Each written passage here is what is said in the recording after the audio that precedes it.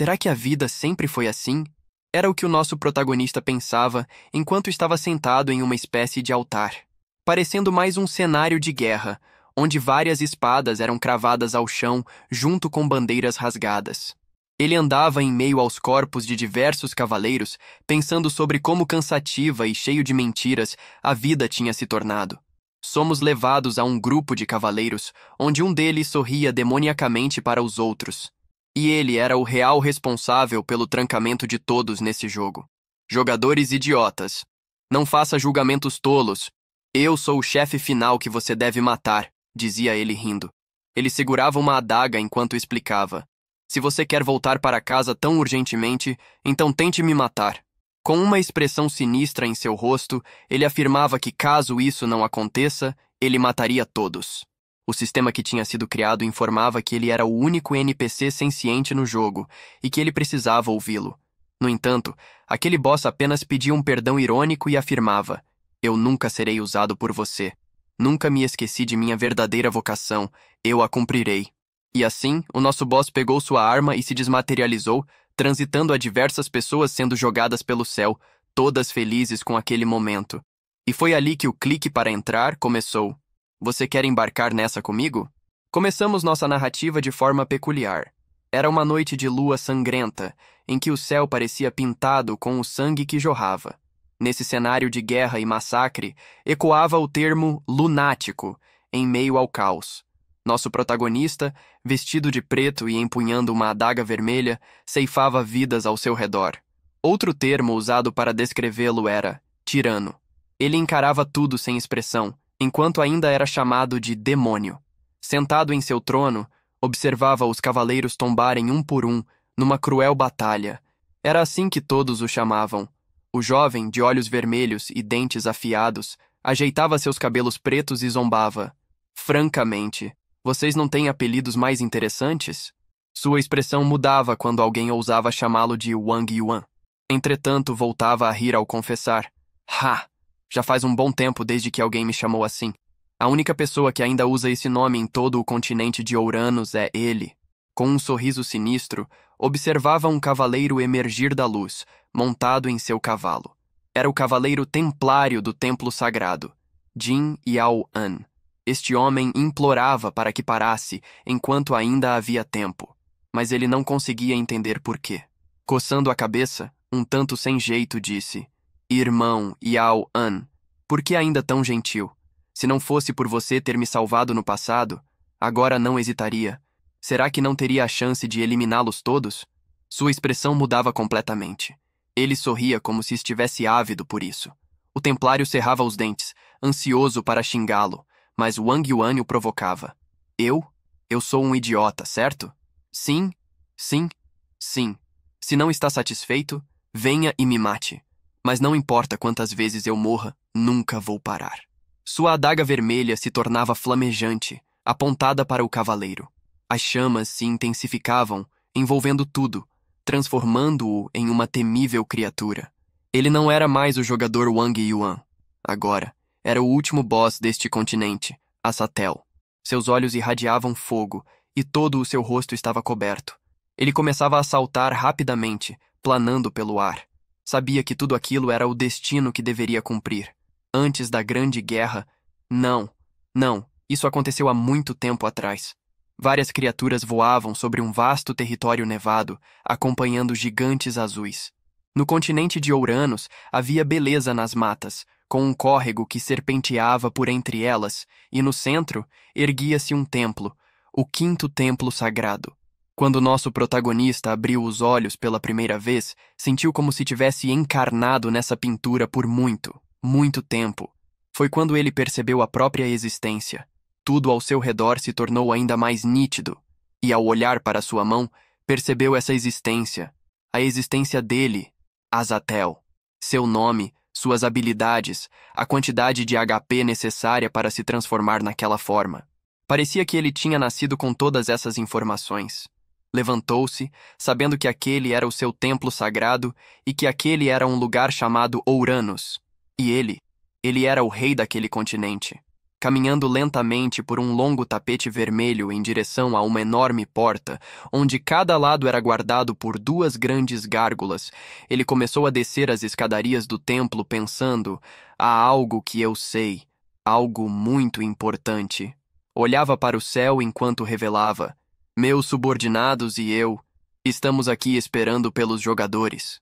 O boss conseguia vê-los através de um grande círculo mágico e seu principal objetivo era trazer felicidade para esses jogadores. Então, uma tela de sistema apareceu dizendo: Nada mal, rei, este é o seu chamado. Permita que este ser onipotente te ensine como cumprir o seu dever. Foi então que ele perguntou: O que é você? O sistema respondeu que ele era o cérebro do jogo, ou seja, o mentor. Mas o nosso protagonista ficou um pouco confuso com o que ele tinha dito. Mentor? pensou ele. Então, deu as costas para o sistema, dizendo que só podia ser brincadeira, afinal, como um rei como ele precisaria de alguém para ensiná-lo. Mas o sistema informou: Parece que eu preciso provar o meu valor para o rei. Quando ele estava de costas, o sistema ativou algo que fez o nosso protagonista sentir instantaneamente. Você. O que você fez? Perguntou ele desesperado. O sistema então comentou: Nada. Apenas me preparando para acessar sua alma. Só isso.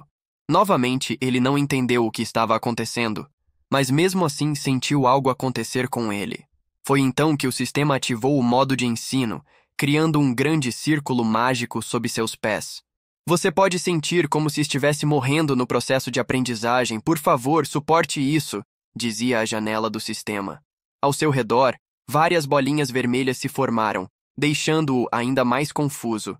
No entanto, um comando de setas foi dado, como se fosse um movimento de jogo, e as informações do sistema foram projetadas nas telas.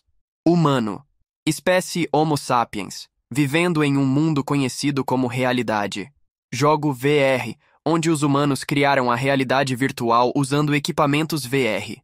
O Ouranos em que você está é um tipo de jogo VR. NPC é um personagem não jogável, cujo único propósito é melhorar a experiência dos jogadores. Aguarde. Os ensinamentos sobre jogos e humanos estão em andamento. O rei do continente Ouranos era então um tipo de NPC com consciência própria, uma IA. Naquele momento, ele estava recebendo ainda mais informações sobre tudo o que precisava saber. As informações eram tantas que sobrecarregaram a mente do nosso protagonista. O sistema afirmava que nem havia falado tanto assim. Ele ainda estava tentando assimilar todas as informações e com base no que o sistema tinha dito, ele conseguia separar completamente o mundo virtual do mundo real. Sentindo-se um pouco estranho, ele falou: Espera, meu mundo e eu somos apenas um monte de códigos? Mas o sistema afirmava que não, que não eram apenas isso, porque na realidade a existência dele era muito importante. Ele precisava trazer felicidade aos jogadores. Azatel estava ali, sentado, imerso em várias notícias offline sobre o novo jogo de realidade virtual e todos os possíveis jogadores desesperados para que ele finalmente fosse ao ar. Azatel estava feliz. Uau, somos realmente populares. Então, enquanto esperamos pelos jogadores, eles também estão esperando por nós. Nesse caso, o que está nos impedindo de nos encontrar? Perguntou ele ao sistema. Mas, para sua surpresa, o sistema informou: É Vossa Majestade. Ele ficou atordoado. Eu? Você está brincando com seu rei? Mas o sistema não ousaria fazer isso. O que ele dizia era verdade. Então explicou: Já que Vossa Majestade não estava acordada ou pronta, os jogadores não podiam acessar a terra. Azatel pensou um pouco e admitiu sua culpa. Em seguida falou: Agora que estou acordado, podemos convidar os jogadores, certo? Mas na realidade ainda havia alguns trabalhos a serem feitos. Foi então que o sistema comentou que entre todos os NPCs, apenas ele tinha permissão para pensar e agir de forma independente. Azatel ficou corado pensando: apenas eu? Por que ele teria tanta exclusividade? Mas em seguida ficou um pouco irritado. Sério? Todos vocês são muito dependentes do rei. O sistema então pediu para ele começar a mover os blocos, pois algumas partes dos mapas de Uranus ainda precisavam ser completadas. E assim ele fez puxando ilhas flutuantes, reparando estátuas para que o mapa finalmente estivesse completo.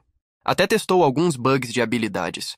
Usou um chamado uivo estridente, que se mostrou ineficaz, sendo necessário ajustar a sensibilidade. Linhas e mais linhas de código em cima de uma IA capaz de agir por conta própria. Ele precisava garantir que todos os NPCs estivessem prontos para seguir seus comandos sem falhas. E quando todas as preparações estavam completas, o sistema o parabenizava, mas agora ele precisava treinar mais um pouco. Azatel estava cansado, jogou-se no chão irritado por ser usado como operário. Como resultado, percebeu que algumas flores estavam esmagadas e perguntou: Devo replantá-las? A tempo? Mas não precisava se preocupar, pois estavam sendo revitalizadas automaticamente. Rapidamente ele comentou: Espere, este é um mundo virtual, então tudo pode ser controlado por um código? Com a resposta afirmativa do sistema, perguntou sobre a localização da ilha flutuante. Foi então que percebeu que tudo era controlado por códigos, inclusive ele mesmo. Isso o enfureceu. Você está brincando comigo? O sistema tentava explicar que alguns códigos precisavam de permissão e que algumas coisas não poderiam ser feitas sem ele. De repente, o céu começou a se rasgar, abrindo um imenso portal que chamou a atenção de Azatel, que estava encantado com o acontecimento. Finalmente, o sistema informou que o login tinha sido inicializado e o continente estava sendo conectado ao servidor. Quando as conexões estivessem completas, os jogadores desceriam. E assim foi. Todos começaram a passar pelo portal, cheios de alegria e vontade, como em toda a abertura de um novo servidor de um jogo tão esperado. O sistema então deu as boas-vindas ao continente Ouranos, e tanto o protagonista quanto o sistema de programação pularam de alegria com a tão esperada chegada dos jogadores. Não demorou muito para que a cidade principal estivesse lotada e os comentários fossem incríveis em relação ao modelo de construção e aos cenários. Um dos jogadores estava muito animado e cheio de expectativas, mas seu companheiro, na mesma hora, falou: Pare de elogiar considerando quanto tempo esperamos. Eu teria que registrar uma reclamação se houvesse qualquer qualidade inferior. Enquanto outro jogador estava admirado com a quantidade de pacotes presentes pela abertura. Outros já estavam formando equipes de estratégia para alcançar a primeira conclusão ou abate do jogo. Mas, como em toda a realidade, sempre há aqueles que acham que poderia ser melhor de outra maneira, e começaram a citar um jogo de IA chamado Carne e Sangue. Outro jogador, mexendo em sua tela de sistema, comentou: Um jogo de IA onde todo mundo tem carne e sangue. Parece que isso causou um grave acidente. Seu amigo ficou curioso e queria saber qual era a fofoca a todo custo. Foi então que ele disse: Havia um fantasma. Seu amigo soltou um grito alto imediatamente. Toda essa conversa deixou o nosso rei do continente atordoado. Espírito fantasma, isso é IA? Ele se virou e gritou. Espere, rápido, desfaça essa maldita magia. Como eu, um rei, não posso cumprimentar os jogadores. Mas o sistema tentava acalmá-lo, pedindo que ele imaginasse qual seria a cena se o boss final aparecesse. E foi exatamente o que ele fez, imaginando-se com um nível 99, assustando todos os jogadores de níveis 1 e 2. Azatel caiu em prantos. Droga! Não é bom ser tão poderoso? Foi então que o sistema pediu para ele não se preocupar, pois sempre poderia haver outra maneira, o que certamente o deixou encantado, pois havia outra possibilidade especial repousando sobre seus ombros: fingir ser um jogador. Coitado do IA Rei do Continente, ele estava ansioso para conhecer os jogadores e fazê-los felizes, mas dava até pena saber que ele mesmo poderia estar sendo enganado. No entanto, ele gostou da ideia. Afinal, as histórias humanas frequentemente têm esse enredo, não é? O companheiro próximo sempre esteve ao seu lado. Na verdade, é o boss final. Sendo o único com autoconsciência, naturalmente, ele precisava fazer um bom uso disso. Azatel estava animado com toda essa história, conversando com o sistema. Acho que não tenho outra alternativa a não ser fingir um pouco. No entanto, o sistema informou que, para ele conseguir se transformar, precisaria remover seu coração. Essa notícia criou um silêncio, mas parecia que um forte impacto tinha sido causado internamente. Azatel permanecia em profundo silêncio, tentando entender. Em seguida, ele colocou a mão em seu peito e perguntou: Coração? O sistema estava se referindo ao datacore, que continha informações do boss final, e ele precisava removê-lo para se tornar automaticamente um jogador. Em seu peito, o datacore brilhava, e Azatel se perguntava: Será que eu posso realmente tirar isso? O sistema entendeu o que provavelmente estava se passando com Azatel. Depois de aprender tanto sobre os Homo sapiens, o rei poderia estar com medo de perder seu próprio órgão como um ser humano. Então sugeriu retirar essa surpresa do programa, pois não teria impacto no jogo, no máximo, os jogadores perderiam metade da emoção. Azatel não queria isso. Este era o seu propósito. Então, inocentemente perguntou: Espera, isso realmente vai diminuir tanto assim a diversão? Ele pensou por um bom tempo em silêncio, até que finalmente disse: Tanto faz, tudo bem, que me peçam para ser o rei. Foi então que o sistema preparou todas as linhas de código necessárias e pediu: Neste caso, rei, por favor, coloque sua mão aqui. A tela mostrava o desenho do formato exato de sua mão, apenas aguardando sua decisão. Azatel estendeu a mão para confirmar, enquanto seu peito ainda brilhava intensamente. O datacore começou a se transformar em uma espécie de cajado brilhante dourado, com chamas, e Azatel começou a sentir uma espécie de dor, pois todos os seus status estavam sendo retirados e vinculados ao sistema. Assim, o nosso rei foi tomando uma forma mais humana, até que tudo estava completo, e agora ele era um jovem rapaz com uma expressão nada inocente. O sistema apenas o parabenizou por isso e informou que o jogo estava prestes a começar para ele, no entanto, será um pouco diferente agora. De repente, todo o ambiente se tornou carmesim, como se todo o cenário estivesse sendo deixado na estrutura base. Diversos alertas de sistemas e códigos estavam sendo transferidos, e o sistema o alertou. Aviso! O núcleo do jogo está sendo invadido! Reparo do firewall falhou! O mundo que ele conhecia estava prestes a entrar em colapso, e agora Azatel não sabia o que fazer. Desesperado ao ver as diversas telas surgindo à sua frente, ele se perguntava: o que nos infiltrou? E que colapso é esse? Mas naquele momento, percebeu logo que o sistema não dava mais nenhuma resposta. Do céu, várias luzes vermelhas desciam como lasers, começando a atingir todo o vasto campo do continente Uranus. Foi então que ele percebeu: é você. Cerrou os punhos e golpeou o centro do sistema, mas mesmo assim, as telas de notificação só sabiam informar. Configuração da nova chave completa, confirmação de Shun como a maior autoridade, destruição da primeira versão de Ouranos confirmada, transferência dos dados dos jogadores para o novo mundo.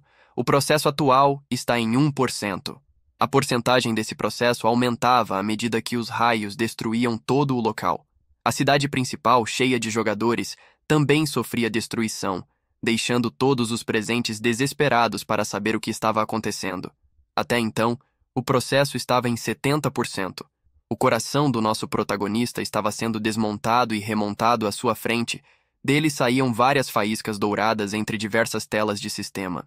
Quando o processo atual chegou ao 100%, o símbolo do datacore foi exibido e as diversas linhas de código puderam ser vistas, semelhante ao mundo de Matrix.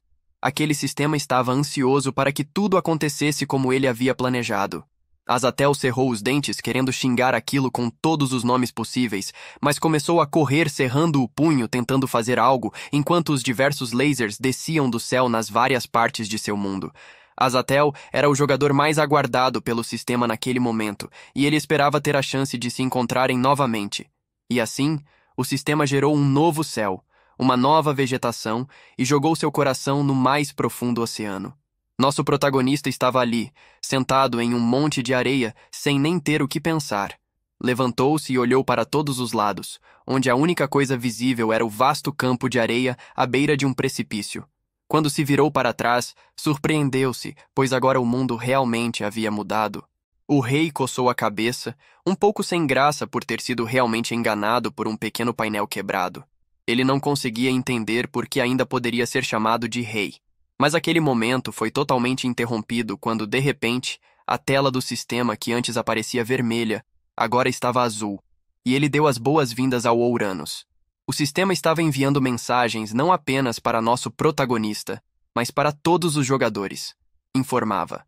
Acredito que todos tenham percebido que não há um botão para deslogar neste mundo. Todos perceberam imediatamente, achando que poderia ser um bug. Um dos jogadores pediu para corrigirem rapidamente para que pudessem jogar em paz. No entanto, o sistema continuou a informar: Por favor, não se preocupem com isso. A porta para o mundo real sempre estará livre, mas os jogos sempre terão suas regras. Enquanto falava, alguns jogadores apareceram, e um deles, olhando esperançoso para o sistema, perguntou desesperadamente: Este é um evento em homenagem àquele mangá clássico? Porque de repente estou com minha aparência da vida real? Isso é ilegal!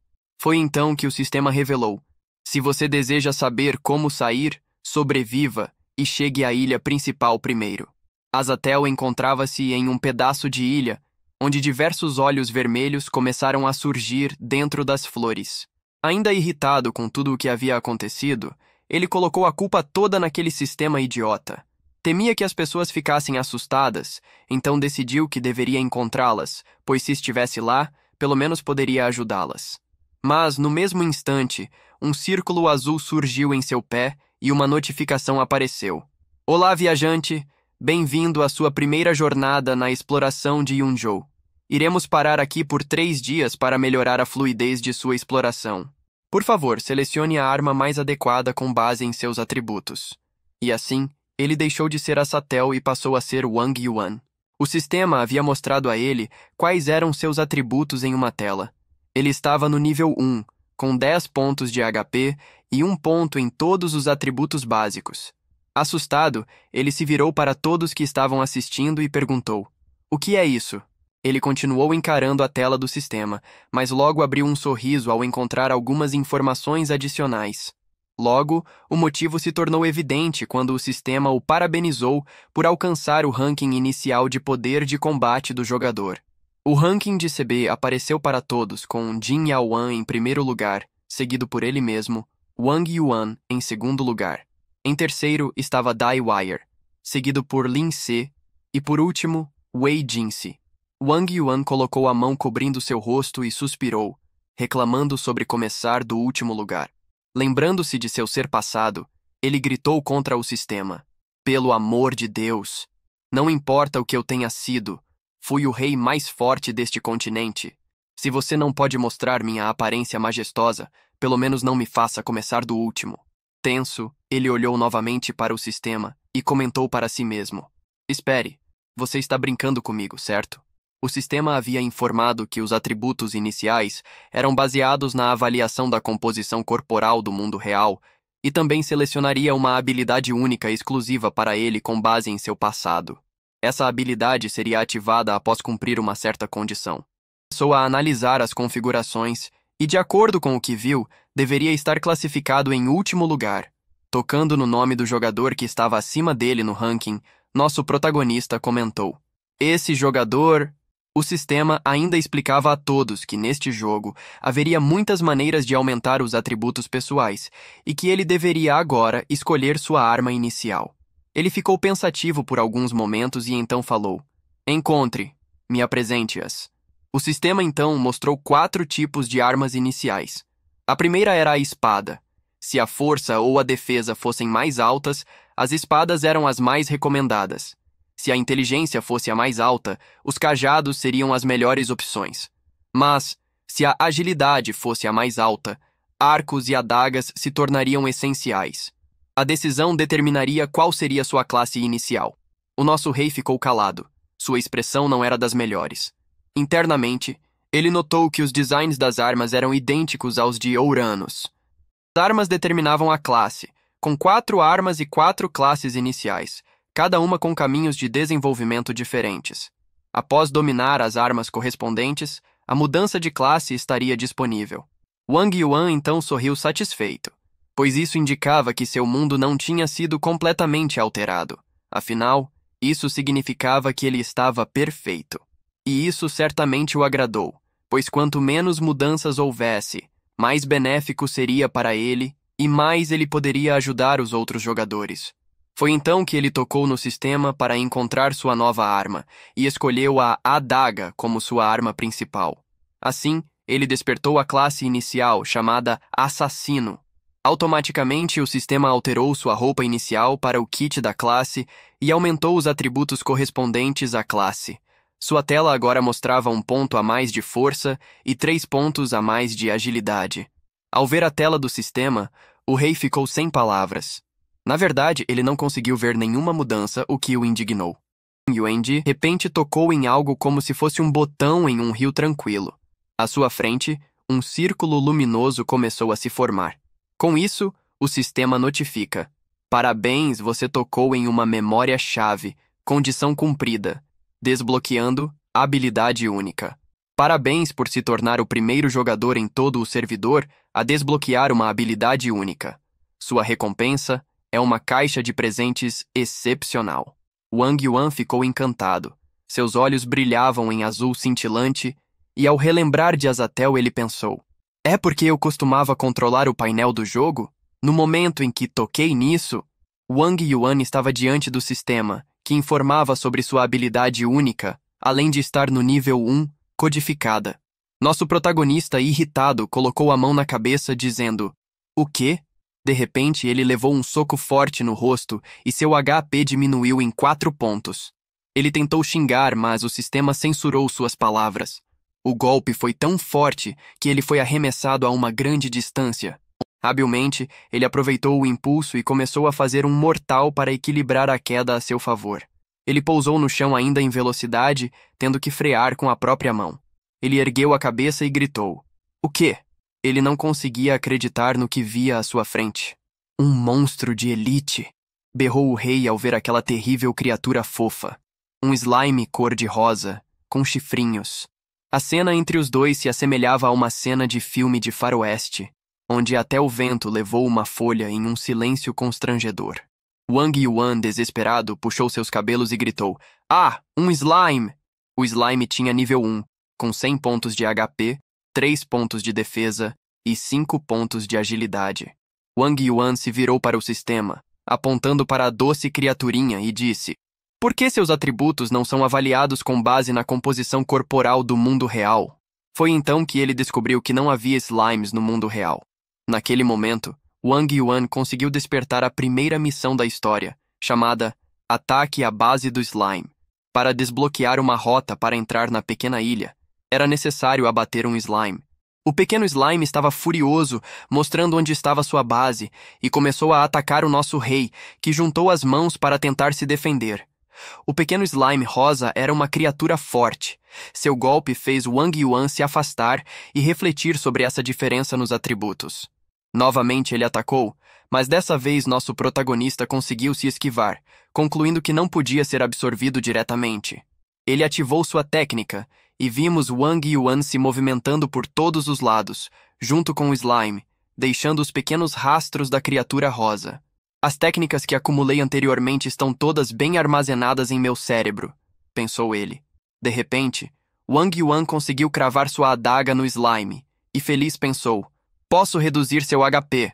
No entanto, naquele mesmo instante, o sistema informa: falha na quebra de defesa. Seu ataque é inferior à defesa do alvo. HP menos zero. Isso o assustou, e rapidamente ele abriu uma distância considerável de seu oponente. Em Ouranos, falhar em quebrar a defesa ainda deduziria um ponto de HP. Foi então que ele pensou: se esse tipo de cálculo de dados for alterado, espere, dados. Wang Yuan ficou espantado ao pensar nos dados e logo uma ideia lhe ocorreu. Bom, galera, eu vou ficando por aqui. Obrigado por ter ficado comigo até o final e se curtiu, não esqueça de deixar aquele like maroto e comentar para mais parte, isso faz maior diferença para nós. Se você é novo, se inscreva em nosso canal e já faça aquela maratona dos vídeos para se distrair. Até a próxima.